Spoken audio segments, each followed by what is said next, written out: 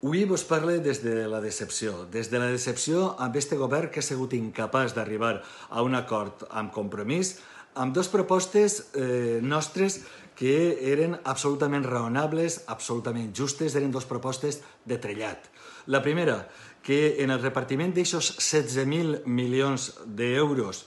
per a pal·liar el gasto sanitari de les comunitats autònomes, que el criteri de la població tinguera més pes nosaltres entenem que este és un virus que no entén de territoris, que entén bàsicament de persones i per tant enteníem que el criteri poblacional havia de tindre més pes i en segon terme que també es veguera la situació de partida de cada comunitat autònoma. No és el mateix una comunitat que pot finançar bé la seva despesa farmacèutica i sanitària que una comunitat com la valenciana que està infrafinançada també sanitàriament i que eh, evidentment parteix d'una situació situació eh, notablement inferior a altres comunitats autònomes. I la segona proposta era una proposta que no sols afectava a valencianes i valencians, afecta també a altres comunitats autònomes que, com la nostra, estan per baix de la mitjana, és a dir, que tenen menys recursos per habitant per a poder combatre esta epidèmia. Nosaltres proposàvem que hi haguera un fons d'anivellament en què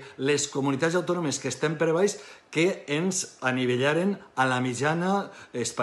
per a tindre els mateixos recursos per a poder lluitar contra una pandèmia que, insistís, no coneix de territoris.